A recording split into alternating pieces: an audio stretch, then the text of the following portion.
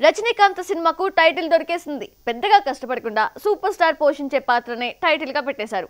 First లుక్గా superstar లుక్ను కాకుండా కత్తిని రిలీజ్ చేశారు. అదేంటో గానీ రీసెంట్గా వచ్చిన స్టిల్స్ అన్ని కత్తులతో దూసుకొస్తున్నాయి.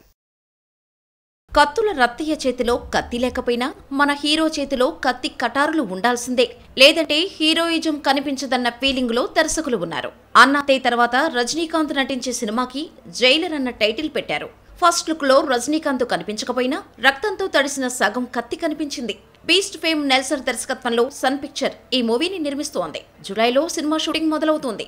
చేతిలో కత్తి లేకుండా రజనీకాంత్ బయటికి రావటం లేదు. ఆ మధ్య అన్నాతయ్య మోషన్ పోస్టర్లో పొడవాటి కత్తి పట్టుకొని సింగిల్ హ్యాండ్తో బైక్ డ్రైవ్ చేస్తూ కనిపించాడు. NTR Balakrishna mask care of address వీళ్ళని మరింత ఊరమాసుగా చూపించడం కోసమో లేదంటే చేతిలో ఆయుధం ఉంటే హీరోయిజం పండుతుందన్న నమ్మకమో కానీ కొరటాల శివ ఎన్టీఆర్తో ఏకంగా గొడ్డలి కత్తి పట్టించాడు. ఆ మధ్య రిలీజ్ చేసిన మోషన్ పిక్చర్లో ఎన్టీఆర్ లుక్ చూస్తుంటే మరోసారి అమ్మ తోడు అడ్డంగా నరికేసే మూడ్లో ఉన్నాడు తారక్. బాలయ్య కొత్త సినిమా కత్తితో రాకపోయినా ఆ మధ్య హీరో పుట్టినరోజు సందర్భంగా రిలీజ్ చేసిన లుక్లో పొడవాటి కత్తి పట్టుకున్నాడు. బాలయ్య కోసం స్పెషల్గా కత్తిని డిజైన్ చేసినట్లు టీజర్లో కనపడుతోంది. ఇంట్లో పెళ్ళాలు కూడా గుర్తుపట్టలేనంతగా నరికేస్తానంటూ వార్నింగ్ ఇస్తున్నాడు బాలయ్య. Yeah.